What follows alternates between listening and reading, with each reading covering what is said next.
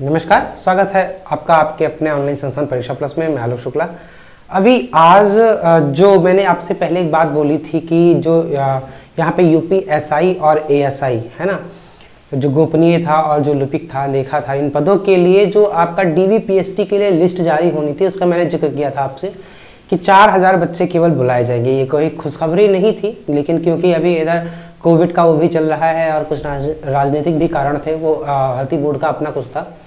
खैर, जो भी रहा हो, जो मैंने बात बोली थी, वो आज लगभग लगभग क्या हंड्रेड परसेंट सही है। वैसे भी टीम में कोई बात आपके सामने तभी लेके आई जाती है, जब वो हंड्रेड परसेंट सॉलिड रहती है कंक्रीट इन्फॉर्मेशन रहती है, तभी आपको वो प्रेषित की जाती है, अन्यथा नहीं की जाती है।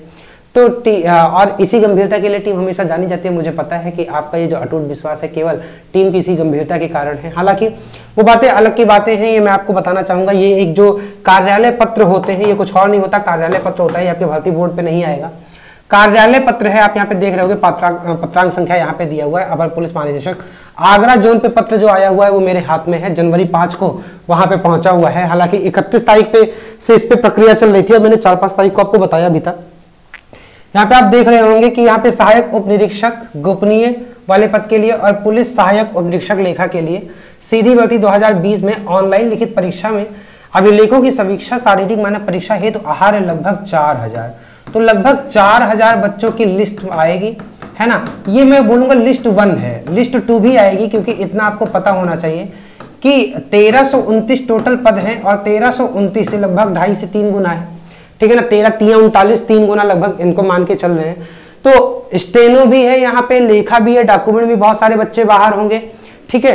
और उसके बाद टाइपिंग में भी, ठंडक के महीने में टाइपिंग होगी तो उसमें बाहर होंगे तो तेरह सौ उनतीस के तेरह तेरह सौ उनतीस मिल नहीं जाएँगे चार हज़ार में। इस कारण से दूसरी लिस्ट आएगी तो उसके लिए आप एकदम होपफुल रहो।